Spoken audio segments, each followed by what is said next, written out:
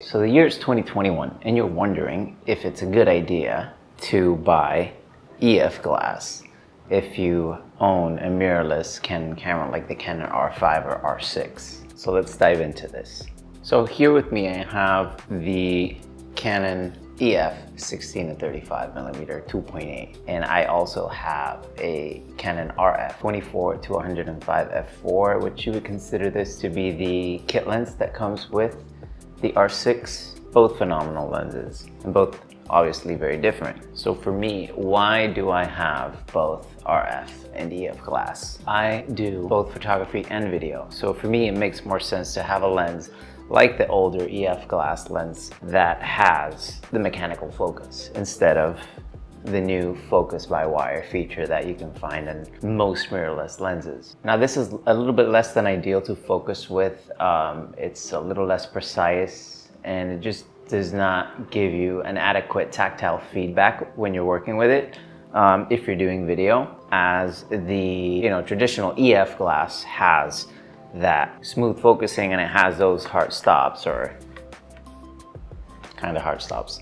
So for me, the why is because I do video and mostly with the EF lenses that I do own, which is, this is not the only one that I do own, but uh, with the EF lenses that I do own, I do actually like to do video. And you might be wondering, why not just use the super amazing Canon autofocus system that has like all that tracking stuff and whatnot. And that's a good point. And yes, that does work and I do use that quite a bit and I do enjoy it, um, especially when I have to do any sort of like gimbal work or stuff like that where I don't, you know, tend to interact with the lenses or the camera that much. And I also found out that it works wonders in the Red Komodo. I hadn't really tested out and the other day I wanted to shoot and I just took this little guy and it worked very, very well. Probably gonna do another video on the Red Komodo using RF glass and autofocus, so stay tuned for that. But you see, with manual focus and uh, this type of manual focus, you tend to control a little bit better what you want to focus and when you want in focus and how you want it in focus, uh, the speed of racking, and if you're doing any type of like focus racking and stuff like that. Um, so it's it, it gets you a little bit more connected with what you're doing. But what if you only care or you care mostly about image quality or picture quality? Which one of these two is going to be better. And if that's you and you care a lot about, you know, image quality and getting the most out of your camera sensor, specifically if you have the Canon R5 with the higher megapixels and stuff like that, then I would suggest, yeah, go ahead and if you have the money, stick to uh, RF glass. It's uh, much cleaner, it handles a lot of situations much better than the older lenses. Uh, this particular lens right here is the version 1 and I got it because it was smaller and lighter. I didn't really care to get uh, anything other than this. Um, I just wanted a cheap alternative and something that always have a 16 to 35 handy.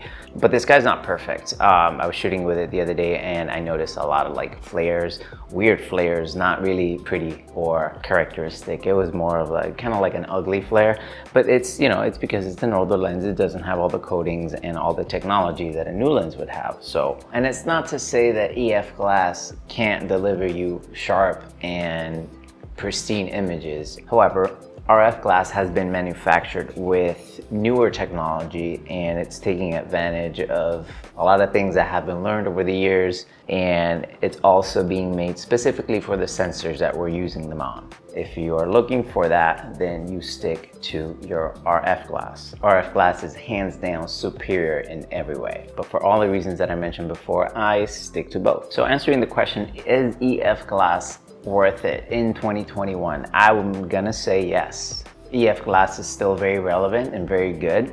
Not only that, it is much more affordable than the RF glass. Talking about a big difference in the money that it costs to invest in RF glass. However, if we were to look at what's happening with lens mounts and the direction that everything is going, going the RF route is actually future-proofing all of your gear, which is something that I'm considering of doing. I would love to have more RF glass, but currently at the moment, I'm still sitting very comfortably with my EF glass because the EF glass in conjunction with the adapter that you can get from Canon works phenomenal. It works just like the RF glass. It's just as quick, just as responsive. There's no loss of performance. At least I haven't noticed any. And the truth is you can't go wrong with either. And there you have it. do with it what you will. Make your own choices about EF versus RF glass and uh, I'll catch you guys on the next one.